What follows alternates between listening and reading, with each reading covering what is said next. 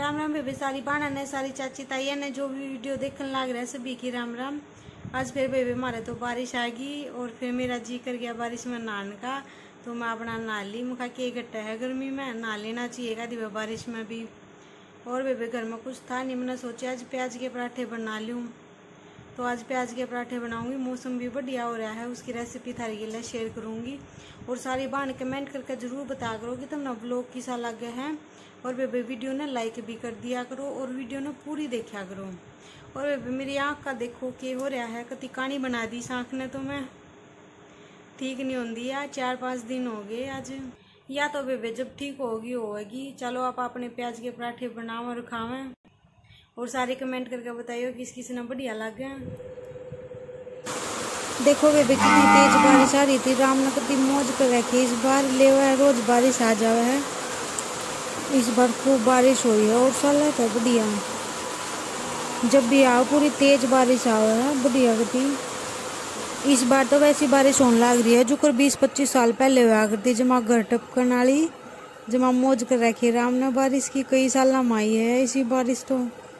चलो भाई बनाओगे अपने प्याज के पराठे, मैंने अपना प्याज चीर लिए इनमें हरी मिर्च भी चीर ली, और इसमें मैंने सिर्फ़ नमक और पिसा हुआ धनिया गिरा है। मैंने तो मसाले पसंद को ना मैं अपना बिल्कुल सिंपल तरीके से बनाऊँगी इसमें। आप अपने अनुसार इसमें कुछ भी मसाले ऐड कर सको। जो कस्तूरी मेथी होगी काली मिर्च पाउडर हो गया, गरम मसाला हो गया तो कुछ भी ऐड कर लो। इसमें अजवाइन होगी, वो भी ऐड कर सको हो। ये बनाने लगी हूँ मैं अपने पराठे। अपने अपने दो पराठे बनाऊँगी, क्योंकि मम्मी की रोटी मैंने बना दी। मम्मी पराठे ना खावा हो और पापा ऑफ़िस में जा लिए। तो मैं मैं रह हूँ तो दो ही पराठे बनाऊँगी क्योंकि ज़्यादा खाती नहीं हूँ मैं, दो ही खाऊँगी। और वह बना कर दिखा दूँगी आप सारा ने। यो देखो इस तरह की रोटी बनाई है हमने। ये भी इसके बाद देसी में प्याज रख कर न और फिर पराठा तैयार करूँगी। या सेब मैंने जाए तो बढ़िया लगा क्योंकि आराम तैयार हो जाए इसमें पराठा। तो देखो फोल्ड कर दिया। ये भी इसमें सूखा आटा ला कर ना और पराठा तैयार करूँगी। बारिश के मौसम में भी वैसे तो पराठे खाने में मज़ा आया करे। जाए तो आज मेरा जी कर गया और वैसे भी कोई सब्ज़ी वगैरह थी नहीं घर में। और कल मोस थी तो दूध भी बरत लिया था लस्सी भी नहीं थी, दही भी नहीं थी। तो जाए तो मैं खाले पराठे बना लूँ।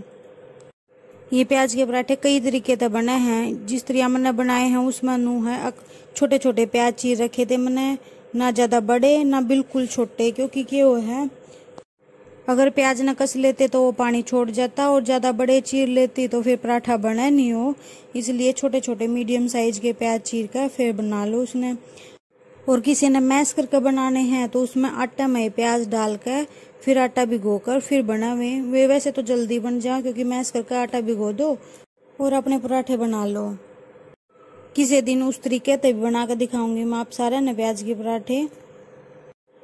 और हम आलू प्याज के भी बना सके हैं। जो कर आलू के बनाओ, उसमें प्याज भी साथ में डाल लो तो वह भी बढ़िया लगे। और एक और बात, जो भी नया चैनल पा रहा है, वो चैनल ने सब्सक्राइब कर दियो ज़रूर, और वीडियो ने लाइक कर दिया करो, और कमेंट करके ज़रूर बता करो कि वीडियो किसी लगे। और बेबे मेरे पराठे हो गए हैं तैयार। इन पर रख लिया हमने अपना घर का देसी टिंडी घी, जो इनका मज़ा डबल कर दे है। टिंडी घी बना अभी पराठे कुछ नहीं। देखो बेबे, मेरे पराठे बनकर तैयार हो गए हैं और कमेंट करके बताइए किसे लगे।